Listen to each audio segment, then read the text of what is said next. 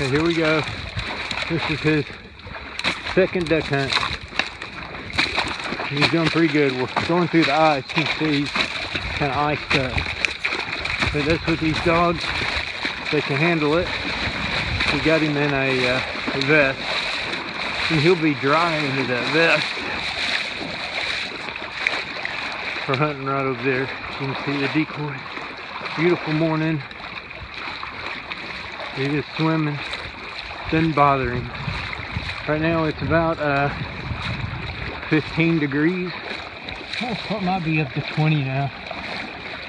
But little gadwall here we just got. Up. Fetch it up. Bro, fetch it up.